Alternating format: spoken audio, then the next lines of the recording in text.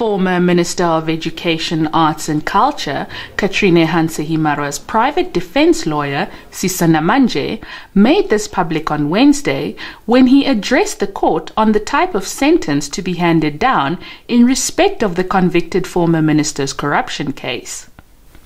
According to Namandje, Hanse-Himarwa has so far incurred a bill of over 1.4 million Namibian dollars in legal fees for her legal representation by the Windhoek-based Sisa Namandje law firm.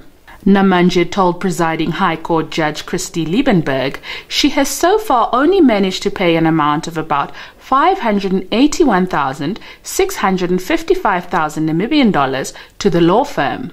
The former education minister now owes the firm over 830,000 Namibian dollars, which she is being requested to pay by the 1st of August this year.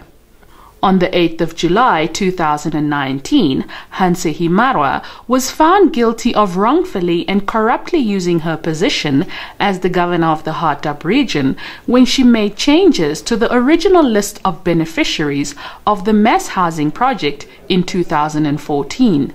She was found guilty in a judgment handed down by High Court Judge Liebenberg, and she subsequently stepped down from her position as minister.